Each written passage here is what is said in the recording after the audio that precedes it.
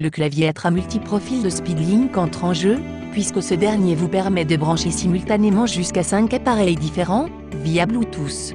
Une simple combinaison de touches vous permet de basculer rapidement entre les différents appareils, ce qui signifie qu'il n'est pas nécessaire de passer manuellement par les tracas de la commutation entre les PC, tablettes et smartphones.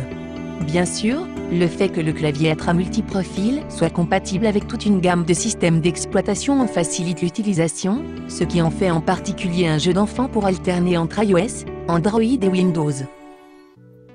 Bonjour à tous, merci de regarder cette vidéo, j'espère que vous allez bien. On va voir ensemble un clavier, un clavier pas comme les autres, le Atera multiprofil, un clavier qui va permettre de se connecter à plusieurs appareils 5 appareils au total. La manipulation est très simple. On va pouvoir sauter d'un appareil à un autre avec deux touches, ce qui n'est pas négligeable. Vous allez voir que dans cette vidéo, ce clavier, on l'a customisé. Normalement, il est comme ici, vous le voyez dans sa boîte. Donc on va faire le déballage ensemble, customisé pour les personnes malvoyantes. Et vous allez voir le résultat. Merci de regarder cette vidéo. On ne tarde pas, on va l'ouvrir ensemble. Actuellement, il est comme d'habitude sur le bureau, dans sa belle boîte. Dès qu'on l'enlève de son premier carton, on retombe sur un carton tout épuré blanc. On tombe sur un volet avec la notice, un câble USB livré pour le rechargement de ce clavier. On lève par devant nous et on tombe directement sur le clavier. Ce clavier se recharge en USB. D'ailleurs, dans le haut du clavier où on a le renflement, on a une petite encoche que l'on pousse qui va donc faire apparaître deux piles LR6 AA qui sont des piles batterie. Alors, c'est un clavier classique 105 touches avec à droite un pavé numérique, les deux repères sur le J et le F.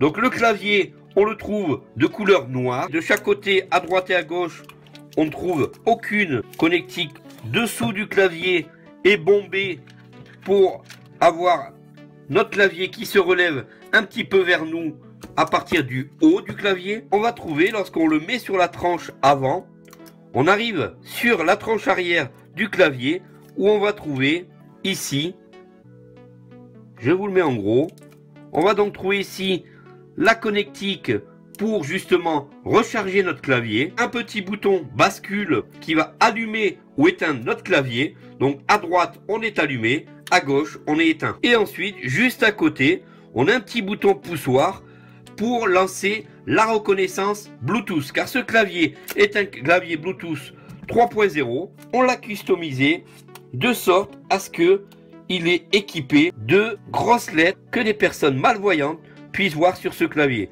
Donc comme il est noir, on est sur un clavier inversé avec de très grosses touches. Je vous le montre en gros. Une particularité sur ce clavier, c'est que la touche FN se trouve à la droite, la deuxième touche de la barre d'espace, au lieu sur un clavier classique par exemple de PC portable qui, elle, normalement se trouve sur la gauche de la barre d'espace. Les touches de fonction entre F4 et F8, F12. Voilà, on a nos petits espaces qui sont là. Donc un clavier avec des touches qui rebondissent très rapidement lorsqu'on les enfonce. Voilà. Alors, comment va se passer l'appairage des cinq appareils? Tout d'abord, on va allumer notre clavier à l'arrière. Le petit bouton poussoir, on le pousse donc vers la droite. C'est parti. Donc, il est poussé. Ensuite, on va appuyer sur la touche FN et on va appuyer sur ou la touche 1, ou la touche 2, ou la touche 3, jusqu'à la touche 5 pour dédier un appareil sur les touches alphanumériques. Donc les touches qui sont au-dessus des lettres de votre clavier. Par exemple, je vais appuyer sur FN2. Et une fois que j'aurai appuyé sur FN2, je vais appuyer sur le petit bouton qui est entre la connectique et le bouton marche arrêt pour lancer la détection du clavier et vous allez apercevoir une petite lumière bleue qui va se mettre à clignoter. Normalement, c'est 4 secondes. Une fois les 4 secondes passées, votre clavier est censé clignoter. Vous allez sur votre appareil, Bluetooth, en cours. Oui. Bouton. Latera Keyboard est connecté.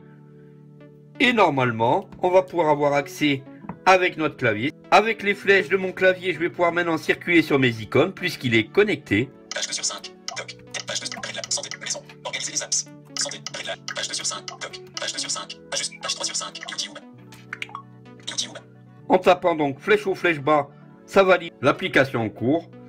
Et vous voyez donc avec le clavier, je peux gérer entièrement mon iPhone. Maintenant, on va apairer un deuxième appareil. Par exemple, la Galaxy Tab A6 où j'ai fait des vidéos. N'hésitez pas à aller sur la chaîne voir ces vidéos.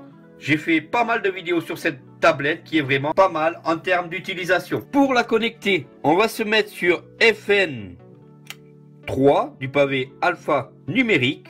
J'appuie dessus. Voilà. Une fois donc qu'on a mis sur FN3 du pavé alpha numérique, on appuie sur notre bouton d'appairage, le clavier clignote, donc 4 secondes. Sur notre tablette Android, dans les paramètres Bluetooth, Bluetooth. Appareil disponible. En tête. Disponible. Keyboard. notre clavier donc Appuyez deux fois pour activer. apparaît ici dans la tablette. Une fois qu'il a appairé, on va vérifier avec nos flèches si on a accès à la tablette, ce qui est donc le cas. Maintenant, la page d'accueil. Vous allez donc voir avec les flèches. Je gère ma tablette. Si je fais FN2, YouTube. YouTube. YouTube anglais. Importer ou re- rechercher. je gère mon iPhone. Je refais FN3, Clavier Bluetooth. Miguel Axe. Le populaire. Miguel Axe. je gère ma tablette. On peut faire jusqu'à 5 appareils. Ça veut dire que vous pouvez connecter votre Mac, votre Windows en Bluetooth sur ce clavier. Et dès que vous allez appuyer sur FN 1, 2, 3, 4, 5, vous allez vous connecter à votre appareil en Bluetooth. Voilà pour ce clavier Atera. La navigation sur vos différents appareils est très rapide, très fluide. Vous avez un clavier vraiment de grande qualité, un clavier de PC puisque on a un pavé numérique, ce qui est très appréciable après aussi pour certains raccourcis clavier. J'espère que la vidéo vous aura plu sur ce clavier très réactif en Bluetooth, 5 possibilités d'appairage sur 5 appareils différents. Si la vidéo vous a plu, n'hésitez pas à mettre un gros pouce bleu en bas de la vidéo. Surtout, pensez bien à vous abonner pour, pour continuer à suivre tous les tutos, démos, présentations des prochaines vidéos et les recevoir dans votre boîte mail. Moi, je vous remercie beaucoup d'avoir regardé la vidéo jusqu'au bout. Et bien sûr, je vous dis à la prochaine. Salut